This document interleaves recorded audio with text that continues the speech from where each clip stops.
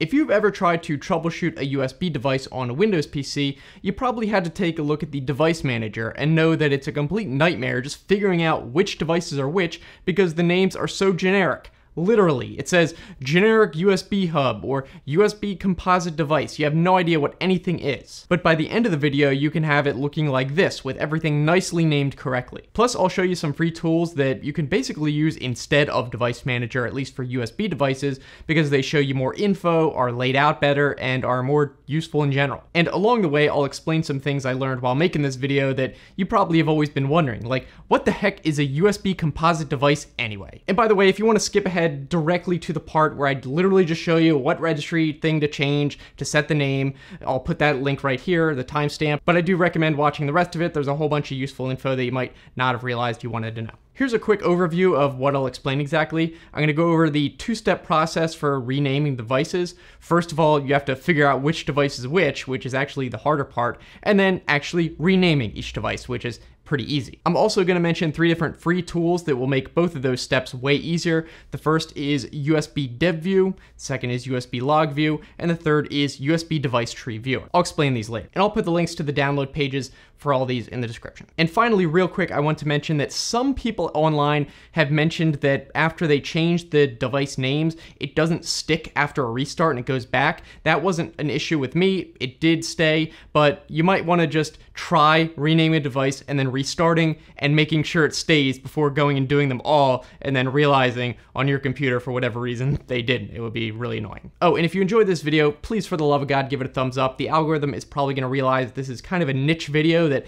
not too many people are gonna be interested in, but for those of you who do watch it and do find it useful, if you give it a thumbs up, that'll at least tell the algorithm that it's a good video. All right, so let's get into it. The first main tool that I'm gonna talk about is USB Dev View. This is a NirSoft tool, and basically it kind of replaces the device manager, at least for USB devices. The device manager shows other types of devices, not just USB, but we're worrying about USB right now, so this is a great tool. You can choose which columns to show, and this basically shows you all the same info that you could get through the device manager, but in device manager, you have to like right click it, go to properties, look through each individual tab. It's obnoxious. Whereas with this, it literally just shows you all at once. It's so much easier. Now here's a couple columns you probably want to make sure that they are enabled. First of all is the description column, and this is basically what the device name is going to show up as in device manager. So here you see a bunch of them called like USB input device, USB composite device, and you probably recognize those as the ones that show in device manager. Not really helpful. Yes, some device descriptions actually do say what the thing is, but not many. You'll also want to enable the device name column, which ironically, no, is not the one that shows up in device manager. And also you want to enable the friendly name column. This is actually what can override the name in device manager. If there is a friendly name set in the registry for that device, then device manager will actually use that. You can see at this point, I already named all my devices, so yours won't look like this. It'll just be empty. But for mine, this is basically what it'll look like for you at the end. Some other columns you'll probably want to enable are vendor name and product name. These might be empty right now, don't worry about that. And also vendor ID and product ID. And finally, you can enable the instance ID column. Don't worry if you don't know what the heck this means, you don't have to know that. It's basically just gonna be if you want to search the ID that you see somewhere else, you'll be able to find it in this column, but you don't have to know what it means. Okay, so before worrying about how to figure out which device is which, let's just assume you already see a few that you know exactly what they are. And so now I'll show you how to set that friendly name in the registry, which will change the name it appears as in Device Manager. First thing you want to do is in USB Dev View at the top, go to Options, and then where it says regedit open mode, do with escalation because you need to have the registry editor open as admin for it to work. And now literally all you have to do is on any device that you want to rename, you simply right click, hit open in regedit, and this will open the registry editor to that key. First, real quick, you're gonna wanna back up the registry just in case. You always wanna do this when doing anything with the registry. To do that, you go to File, Export, under where it says export range, select all, and then just save it to the desktop somewhere. It'll take a minute to do this. Okay, now what you wanna do is create a friendly name value. So you wanna right click and hit new, string value. And then you want to set the name to friendly name, no spaces, with a capital F and a capital N. If there's already a value named friendly name, you can obviously skip that. After the key is there, just right click it, which will let you change the value of it and name it whatever you want. So for example, I can name this Logitech G502 mouse. Once you do that, you can hit OK and then close out the registry editor. It should already be changed. And now if you go to Device Manager, you can hit Scan for hardware changes, or in USB DevView, you can hit the refresh button, and it should actually show that name now that you put in. All right, so now that you know how to actually go and set the names, let's go over the probably harder part, which is figuring out which devices are which. Like I said, some of the device names may already tell you right off the bat, and even some of the descriptions may say it, but for most of them, that's not the case. But here's something that will make our life way easier for most devices. So remember how in the vendor name and product name column, those are basically all empty? That's because there is no key basically to correspond the IDs to the actual names. However, there is someone who created such a list. So notice at the bottom of USB DevView, it says USB.IDs not loaded. Just left click on that and it will take you to a text document that has such a list. And this is created by a guy, Stephen Gowdy, on his website, linux-usb.org. Don't worry that it says Linux, it works here too. So just right click this page and hit save as. By default, it's gonna try and save as a text file, so usb.ids.text. Just take off that .text extension. It has to literally be called usb.ids, and you wanna put that in the same folder as the USB DevView program. Then you can just close out USB DevView, open it back up again, and it should say that it is now loaded. And now you should see that for a lot of devices, if not most, the vendor name and product name should be there, and this should definitely help you out for identifying which things are which. Or even if you don't recognize the vendor name or product name, a lot of devices have multiple entries, even though it's one thing. So a lot of times this will make it at least easier to see, okay, this has the same vendor name. This might actually be the same device with three different entries. All right, so that first half of the video, theoretically, you should know what you need to do to rename the devices. And if you want to go and figure out how to do it all yourself, be my guest, but this next half of the video is gonna be a bunch of different tips for how I figured out how to do this way easier, so definitely you'll wanna stick around for this. And that'll include the other tools that I mentioned before. First, a few things you'll want to understand that will make your life way easier. First is understanding what exactly a USB composite device is, because you are gonna see a bunch of these in the device list. And a USB composite device is basically just a single device that has multiple things in it. Take, for example, a webcam. A webcam has multiple components inside. There's the image sensor to create the video signal and the microphone to create the audio signal. And instead of only being able to connect to those two different types of devices separately, they are combined into a composite device. So in other words, instead of separately the video sensor telling the computer, hi, I'm a video device, and the microphone saying, hi, I'm an audio device, the webcam combines itself into one thing and tells the computer, hi, I'm a webcam and I can do video and audio. And since it can do multiple things, it's a composite device. That's what composite means. Now, that being said, it's important to know that you still will see each separate component show up in Device Manager. So here you can see under audio devices, there is the one for the microphone. Under cameras, there is the one for the video, but it's just that there's also under the USB devices, the composite device. So that's why you're probably gonna see a lot of devices that have multiple entries but they're really for one thing. You're gonna have the composite device, which is like the combination of them, and then you'll also see separate entries for each individual component. So don't be surprised by that. Another thing you'll want to understand is if you see the term USB hub, that doesn't necessarily mean it's gonna be a USB hub that sits on your desk externally. It could be an internal hub, like the ones on the back of your computer. Those are still connected to a hub. It's just like an internal hub and it's connected directly to the motherboard. And there may also be one for like the front of your computer, or it may actually be an external one you do have sitting on your desk. So just be aware of that. So for example, for a bunch of these, I figured out that they were internal hubs. So I literally just renamed it motherboard hub. All right, now another thing to understand about USB hubs is that each USB 3.0 hub internally it's going to show up under a different virtual hub depending on whether it's a USB 3.0 or 2.0 device. I'm going to go to the computer to explain this because trying to explain it without showing you is just going to be too difficult. So let me explain that over there real quick.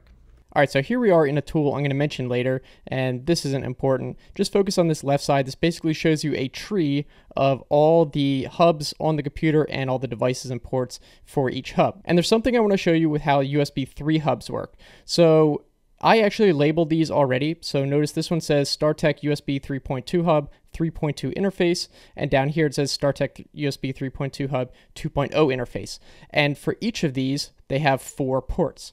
Now, this physical hub on my desk actually only has four ports. So why are there eight of them? Basically, there is going to show a separate hub device in your list of devices, one of which is for the 3.0 and one is for the 2.0 for the same hub. And actually, this program has a nifty tool where if you click one, on one of the hubs, like the 3.2 version, it actually highlights the corresponding companion port for the 2.0 and vice versa. So when I click on port 4 in the 2.0 interface, it'll actually highlight the port 4 up in the 3.2 to show that it's the same one. And notice how these two are both USB 2.0 devices. This one up here is a USB 3.0 device. And depending on what type of device, it's going to go into its corresponding hub. So I just want to show you that if you do have a USB 3 hub, you're going to see two basically cloned ports, it's going to seem like, but really one is for USB 2.0 and one is for 3.0.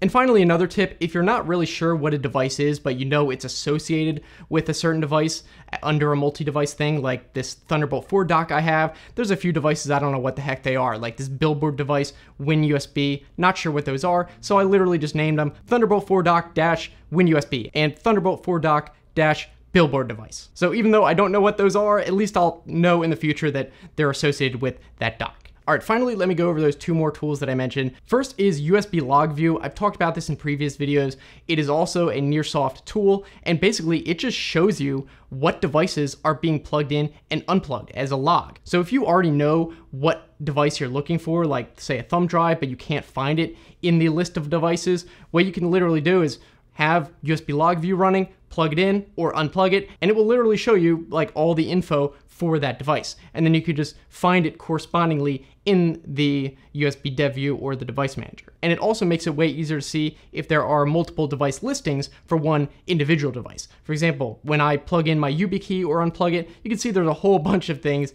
associated with this, even though it's one physical USB device. All right, now this next tool is quickly becoming one of my favorites. It's USB Device Tree Viewer. And I actually just found out about this while making this video. This won't just show you which devices are plugged into the computer, it actually shows you the structure of which hubs those devices are plugged into, like which port on that hub, and even if you have chains of hubs, which hub another hub is plugged into. And also, like I mentioned before, if it's a USB 3 hub, if you click on a port for that hub, it will actually show you the corresponding USB 2.0 port and vice versa. So you can know that it is the same port, it's just under the different virtual USB 2.0. And this is useful because a lot of times those are not next to each other, even though you think they should be. They're the same port, but they could be way down the list. Another neat thing is if there is a device that has multiple devices combined into it, it'll actually just show as one thing on here, but it'll show like a 2x or 3x next to it. So for example, with this Logitech G502 mouse, at the end it says 2x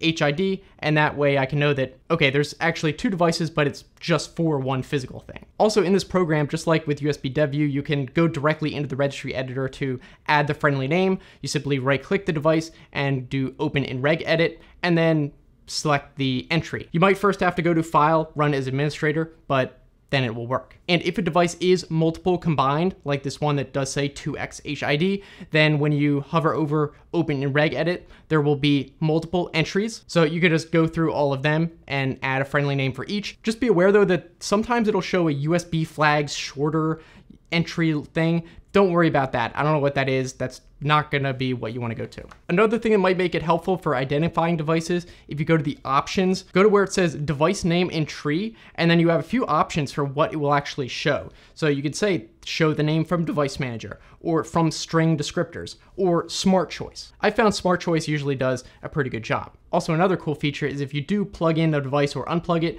it will show that port as being red or green. So it'll show you exactly where that thing got plugged in. All right, now one really tricky thing you might notice is if you click even accidentally on a device twice, it will highlight the name and show it as if you can do a text entry and rename it right there. However, that does not actually rename the device, so it'll show in Device Manager, for example. What changing it like this does is actually changes a registry entry called custom name, and this doesn't seem to change the name anywhere else except in USB device tree viewer. And the tricky thing is if you do change it like that, then USB device tree viewer will only show that name. Even if you do go and set a friendly name for it, even if you change the name type in the options, it will only show what you typed in there, which is really annoying. And another thing to understand is if you accidentally double click and open up that text entry thing, then even if you click away,